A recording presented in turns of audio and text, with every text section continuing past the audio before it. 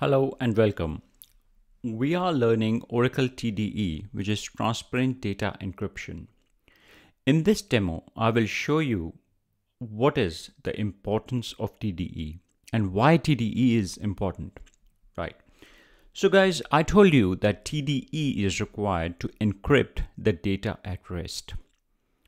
In this demo, I will show you that if you don't encrypt your data, then you can very easily have a look at the data which is residing inside your database or your database files.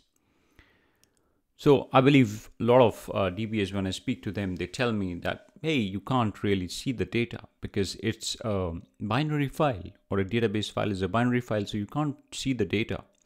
But there are ways in which you can run commands like strings on the database file and you can still see the data. So that's very important. So let's take a look how uh, we can achieve this. So in our um, XE database or XEPDB1, we shall be working on this one. So if I go to XE database and do alter session set container equals XEPDB1. Right. What we will do is we'll simply create a new table space inside the database. So we are creating a table space called users tab. And uh, we are giving uh, it the data file name and we'll just create it as a, a simple data file right?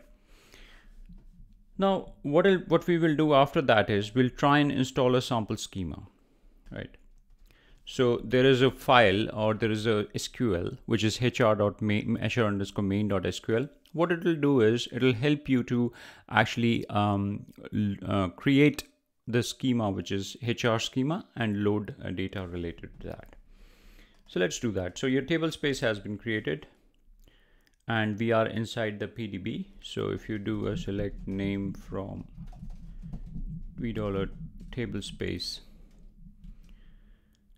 name from $v data file probably,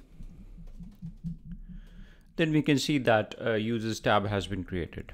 And then what we can do is we can run this uh, command or we can install the sample HR schema. So I just run this. It asks for the password for HR. So I'll just say Oracle one, two, three, four hash hash. It asks for the use default table space for HR. So in this case, uh, let me give users tab asks for the temporary table space I'll give temp and ask for the log file I'll say slash tmp and it starts creating the database and uh, populating it. So I'll just do a select connect SSDBA I'll just do alter system switch log file probably I'll also do alter system checkpoint Right. So now if I uh, go to the HR's alter session set container equals xepdb1 and I do h select star from hr dot employees so you can see that uh, I am actually able to uh, see the data which has been loaded now let's try and look if we are able to find something directly from the data files.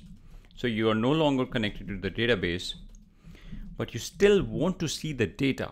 So let's let's try something like file and uh, we try and see the type of file. So it clearly shows that it is a database file, right? So if we do a cat or more on these files, then everything is binary. But if I do a strings, on this file.